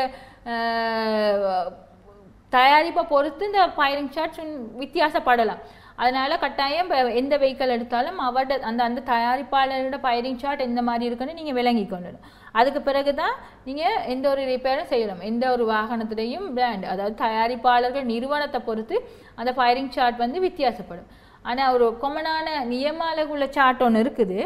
இப்போ இது இது கொஞ்சம் வித்தியாசப்படாது. இது பொதுவான சார்ட் இப்போ இப்போ இந்த பக்கம் போட்டிருக்காங்க சிலிண்டர்ஸ்ட நம்பர்ஸ் எத்தனை சிலிண்டர் இருக்குது நாலு சிலிண்டர் இருக்குது. ஒன்று ரெண்டு மூணு நாலுன்னு சொல்லி நாலு சிலிண்டர்ஸ் அந்த அந்த பக்கம் வந்து கிராங்க் சாப்பிட்ட டயக்ராம் அதாவது அதில் பாகை எத்தனை பாகை எத்தனை பாகைன்னு சொல்லி கோணம் அமைப்பு வடிவமைப்பில் போட்டிருக்காங்க. அப்போ பொதுவாக உங்களுக்கு தெரியும் டிடிசி பிடிசிக்கு உள்ளது வந்து நூற்றி எண்பது கோணம் அமைப்புன்னு அதை தான் முதல்ல போட்டிருக்காங்க. ஒவ்வொரு பிஸ்டனும் எந்தெந்த ஸ்டேஜில் இருக்குது. இந்த சைவர்லேருந்து நூற்றி எண்பது பாகை போகிற நேரத்தில் எந்த ஸ்டேஜில் இருக்குது. அதே மாதிரி நூற்றி எண்பதுலேருந்து முந்நூற்றி அறுபது பாகை போகிற நேரத்தில் எந்த ஸ்டேஜில் இருக்குது. அதே நேரத்தில் முந்நூற்றி அறுபதுலேருந்து ஐநூற்றி நாற்பது பாகை செல்சி பாகை கோணத்துக்கு போகிற நேரத்தில் எந்த பா எந்த ஸ்டேஜில் இருக்குது அதே மாதிரி ஐநூற்றி பாகை நாற்பதுலேருந்து எழுநூற்றி இருபது போகிற நேரத்தில் எந்த கோணத்தில் இந்த பிஸ்டன் இருக்கும்? முதலாவது பிஸ்டன் எந்த இதில் இருக்கும்? ரெண்டாவது பிஸ்டன் எந்த இடத்துல இருக்கும்னு சொல்லி பார்ப்போம். இப்போ நான் முத உதாரணத்துக்கு எடுத்துக்கிட்டால் ஒன்று மூணு நாலு ரெண்டு. அப்போ முதலாவது ஃபயரிங் ஆர்டர் வந்து முதலாவது மூன்றாவது நாலாவது ரெண்டாவது. அப்போ நீங்கள் உங்களுக்கு டிஃப்ரெண்ட் விலங்கி இருக்கும். அதாவது முதலாவது நாங்கள் எக்ஸோஸ் அதாவது பவர் ஸ்டாக் இந்த பவர்டு இது தான் அதாவது ஃபயரிங் ஆர்டர் வந்து எந்த நேரத்தில் பற்ற வை பற்ற வைப்பு நிலை உருவாகுது. அதுதான் இதோட ஆர்டர் அதாவது பவர் பவர் ஸ்டாக் வந்து எந்த இடத்துல இருக்குது. அந்த ஆர்டர் தான் இதில் கொடுத்துருக்காங்க. அப்போ அதை தான் நாங்கள் மெயினாக பார்க்கணும். இப்போ அந்த நேரத்தில் தான் நீங்கள் மற்றதை அது எந்த இடத்துல இருக்கணும் நாங்கள் டிசைட் பண்ணலாம். முதல்ல பவர் ஸ்ட்ரோக் வந்து எந்தெந்த இடத்துல எந்தெந்த பாகை செல்சியஸ் அந்த எந்த எந்தெந்த பாகை கோணத்தில் வர்ற நேரத்தில் எந்தெந்த இடத்துல இந்த பிஸ்டன் வந்து இருக்கணும். இப்போ முதலாவதுன்னு எடுத்துக்கிட்டோம்னா முதலாவது வந்து ஜீரோ டு ஒன் எயிட்டி அதாவது பூஜ்ஜியத்துலேருந்து நூற்றி எண்பது பகை கோணத்தில் முதலாவது இருக்கு என்ன என்ன இடத்துல இருக்கும்? பவர் வந்து முதலாவது சிலிண்டர் இருக்கும் பவரில் அதே நேரத்தில் நாலாவது சிலிண்டர் தான் என்ன செய்யணும்? இன்டேக் பண்ணும் நாலாவது சிலிண்டர் வந்து இன்டேக் பண்ணும். முதலாவது சிலிண்டர் பவர் ஸ்டாக்கில் இருக்கிற நேரத்தில் நாலாவது சிலிண்டர் வந்து இன்டேக் பண்ணும். அப்போ இது உங்களுக்கு அடுத்து இப்போ நாங்கள் அடுத்து பார்த்தோம் ஒன்று மூணாவது. ரெண்டாவது அதாவது நூற்றி எண்பதுலேருந்து ஐநூற்றி எண்பது பகை கோணத்தில் இருக்கிற நேரத்தில் மூணாவது சிலிண்டர் வந்து பவர் ஸ்டாக்குக்கு போயிடும். அதே நேரத்தில் மோ முதலாவது என்ன நடக்கும்? பவர் ஸ்டாக்கில் இருந்தது. முதலாவது என்ன செய்யும்? எக்ஸோஸ் ஆகும். அதே நேரத்தில் நூற்றி ஐம்பதுலேருந்து ஐநூற்றி நாற்பதை போகிற நேரத்தில் நாலாவது. இப்போ எங்கள் பவர் சார்ட்டில் இருக்குது நாலாவதுன்ட்டுன்னு நாலாவது தான் பவர் ஸ்டாக் ஆகும். அதே நேரத்தில் மூணாவது மூணாவது சிலிண்டர் வந்து எக்ஸோஸ் ஆகும். அதாவது பவர் ஸ்டாக் முடிஞ்சு அந்த சிலிண்டர் வந்து எக்ஸோஸ் ஆகும். இப்படி ஒவ்வொன்று அப்போ அடுத்த கடைசி வந்து ரெண்டாவது இரண்டாவது வந்து நூற்றி ஐநூற்றி நாற்பதுலேருந்து எழுநூற்றி இருபது பகை கோணத்தில் வர நேரத்தில் தான் இது எக்ஸோஸ் ஆகும். அப்போ பவர் ஆகும். பவர் ஆகிற நேரத்தில் மற்றது இப்போ நாலாவது சிலிண்டர் வந்து எங்களுக்கு எக்ஸோஸ் ஆகும். அப்போ உங்களுக்கு தெரிஞ்சிருக்கணும் என்னென்ன எந்தெந்த சிலிண்டர் எப்படி எப்படி பவர் பவர் ஸ்டாக்ல இருக்குதோ பவர் ஸ்டாக்காக இருக்கிற நேரத்தில் அடுத்த இதுக்கு அது பவர் ஸ்டாக்காக மாறுற நேரத்தில் முதல் சிலிண்டர் வந்து என்ன நடக்கும்? எக்ஸோஸ் ஆகும். அதாவது ஒவ்வொரு ஸ்டேஜ் பவருக்கு அடுத்து பவர் ஸ்டாக்குக்கு அடுத்து எக்ஸோஸ் ஆகுறது தானே அடுத்து? அப்போ இதை பற்றி உங்களுக்கு நன்றாக விளங்கியிருக்கும். இது எப்படி? இந்த சார்ட்டோட உள்ள வித்தியாசம். அதாவது இந்த சார்ட்டை நீங்கள் நல்லா விளங்கியிருக்கணும். அது இந்த சார்ட்டோட ரீடிங் பண்ணுறது இந்த மாதிரி. ஒரு பிஸ்ட் ஒரு சார்ட் ஒன்று எடுத்துட்டால் பட்ட வைப்பு ஃபயரிங் சார்ட் எந்த மாதிரி ரீட் பண்ணணும் என்ன மாதிரி இதை வேலை செய்யணும்னு சொல்லி உங்களுக்கு விளங்கியிருக்கும். இப்போ அந்த சார்ட்டோட மாதிரி தான் இப்போ இதில் இந்த பிஸ்டன் வந்து வேலை செய்யும். பாருங்க முதலாவது முதல் முதலாவது நாலாவது ஒரே நேரத்தில் இது பண்ணினாலும் மூவ் ஆகுனாலும் ஆனால் அதில் வேலைப்பாடு அந்த நேரத்தில் உள்ள ஸ்ட்ரோக்கோட வேலைப்பாடு வந்து வித்தியாசம். ஒரு முதலாவது ஒரு ஒரு வேலை செய்கிறேன்னா நாலாவது வந்து ஒரு வேலை செய்யும். அதே மாதிரி ரெண்டுக்கும் மூணுக்கும் அப்படித்தான்.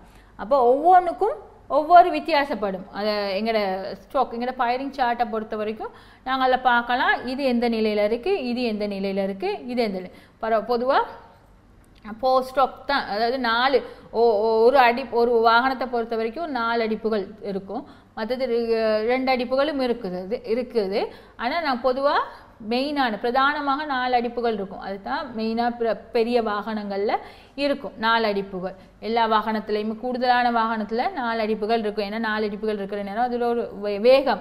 வேகமோ வெஹிக்கல்ட ஒரு மெயின்டெனன்ஸ் இதுக்கெல்லாம் கூடுன்னு சொல்லி சொல்லுவாங்க. அப்போ இப்போ உங்களுக்கு விளங்கி இருக்கு இப்போ நாங்கள் இன்றைக்கி ஃபோர் ஸ்டோக்கை பற்றி ஒரு விரிவான விளக்கத்தை நாங்கள் படித்தோம் ஃபோர் ஸ்டாக்னா என்ன? அதில் ஒரு தியரி நாலேஜ் அதாவது இன்ஜின் வ என்னென்ன டைப் இன்ஜின் வகைகளை படித்து படித்தோம் இன்ஜின் எத்தனை வகைப்படும் சொல்லி படித்தோம் அதாவது இரண்டு வகைப்படும். அது நாங்கள் பாவிக்கிற எரிபொருளை பொறுத்தும் பாவிக்கலாம். டீசல் இன்ஜின் பெட்ரோல் இன்ஜின்னு சொல்லி சொல்லுவோம். அதுக்கு பிறகு அது எரிப்பற்று நிலையை பொறுத்து இதுக்கு வெளி வெளியே எரிப்பற்றி இன்ஜினை ஸ்டார்ட் பண்ணுறது அதே மாதிரி உள் இழுத்து வெ- எரிப்பற்று நிலை அது வெளியே எரிப்பற்று நிலை வந்து பழைய காலத்தில் எரிப்பற்று நிலை பண்ணுவாங்க. இப்போ வந்து புட் இப்போ நவீன காலத்தில் உள்ளுக்கால அதே மாதிரி அதை பிஸ்டன் பாவிக்கிற இன்ஜினை பொறுத்து பிஸ்டன் க பிஸ்டன் பா பாவிக்கிற கம்ப்ரெஷர்ஸ் இருக்குது இன்ஜின்ஸ் இருக்குது. அதே மாதிரி ரோட்டரி பாவிக்கிற இன்ஜினியர்ஸ் இருக்குது ஆனால் கூடுதலாக நூற்றுக்கு தொண்ணூறு விதமான ஆக்கள் வந்து தொண்ணூறு விதமான தயாரிப்பு நிறுவனங்கள் நிறுவனங்கள் வாகனங்களில் பயன்படுத்துகிற வந்து பிஸ்டன்னு சொல்லி நாங்கள் படித்தோம் அதில் பிஸ்டனில் எத்தனை ஸ்ட்ரோக் இருக்குது எத்தனை அடிப்புகள் இருக்குன்னு படித்தோம் அதில் ஒவ்வொரு அடிப்பும் அதாவது ட்ரூ எத்தனை ட்ரூ ஸ்ட்ரோக் ஃபோர் ஸ்ட்ரோக்குன்னு சொல்லி படித்தோம் டூ ஸ்ட்ரோக்கை பற்றி படிக்கல நாங்கள் விரிவாக ஆனால் இருக்குன்னு சொல்லி படித்தோம் ஃபோர் ஸ்ட்ரோக்கை பற்றி விரிவாக ஒரு படித்தோம் அதாவது ஃபோர் ஸ்ட்ரோக்னா என்ன ஃபஸ்ட் ஸ்டெப் என்ன செகண்ட் என்ன தேர்ட் என்ன அடுத்த படிமுறைகளாக த- ஒவ்வொரு படிமுறைகளையும் பற்றி படித்தோம் மற்றது வரைவு திட்ட விளக்கப்படத்தை பற்றி படித்தோம் நாங்கள் அதுக்கு பிறகு ஃபயரிங் சார்ட்டை பற்றி படித்தோம் கடைசியாக படித்தோம் அடுத்து படித்தோம் கேம் சாப்பிட்டுக்கும் கேங் சாப்பிட்டுக்கும் உள்ள வித்தியாசம் உள்ள சம்பந்தம். அதாவது எந்த மாதிரி ரெண்டு சம்மந்தப்பட்டிருக்குது எதன் மூலம் சம்மந்தப்பட்டிருக்குதுன்னு உங்களுக்கு படித்தோம் நாங்கள் இப்போ உங்களுக்கு ஒரு நல்ல ஒரு நாலேஜ் ஒன்று வந்திருக்கும். அதாவது கட்டாயம் தெரிஞ்சிருக்க வேண்டியது மிக மிக மிக முக்கியமானது. இந்த வாழ் வேல் திட்ட விளக்கப்படம்னு சொல்லி ஒன்று படித்தேன் அது நீங்கள் கட்டாயம் நீங்கள் பாடமாக்கி வச்சுருக்கணும். அதாவது உங்களை உங்களுக்கு அந்த அறிவு வந்திருக்கணும். எந்த எந்த பகையில் எந்த கோணத்தில் இந்த இது வந்து ஓப்பன் ஆகுது? இந்த ஒவ்வொரு ஸ்ட்ரோக்கும் எந்தெந்த கோணத்தில் ஸ்டார்ட் பண்ணுது? எந்த கோணத்தில் முடிவடையுதுன்னு சொல்லி. அதே மாதிரி ஓவர்லேப்னு சொல்லி ஒரு புதுசாக ஒன்று படித்தோம் அது எந்த எந்த இதில் ஸ்டேஜில் வேலை செய்யுது என்ன மாதிரி எந்த இடத்துல வேலை செய்யுதுன்னு சொல்லி. இப்போ ஃபோர் ஸ்ட்ரோக்கை பற்றி உங்களுக்கு கூடுதலான அதாவது சாதாரணமான ஒரு அறிவு ஒன்று வந்திருக்கும். இப்போ இதை இதை வச்சு நீங்கள் உங்களால் ஒரு வெஹிக்கல்னா இப்போ வாகனம்னா ஒரு இன்ஜின்னா இப்படி தான் இருக்கும்னு சொல்லி நீங்கள் உங்களுக்கு விளங்கப்படுத்தணும். இப்போ அடுத்த அடுத்த பாடத்தில் உங்களுக்கு டூ ஸ்ட்ரோக்னா என்னன்ட்டுன்னு உங்களுக்கு விரைவுபடுத்தணும். அதாவது ஃபோர் ஸ்ட்ரோக்குக்கும் டூ ஸ்ட்ரோக்குக்கும் உள்ள வித்தியாசங்கள். என்னன்னு அடுத்த லெசனில் உங்களுக்கு படிப்பிக்கலாம். இப்போ அது வரைக்கும் இன்றைக்கி படித்ததை நீங்கள் சமரி மீட்டு பார்த்து மீட்டு பாருங்கள் மீட்டர் பாருங்கள் நன்றி.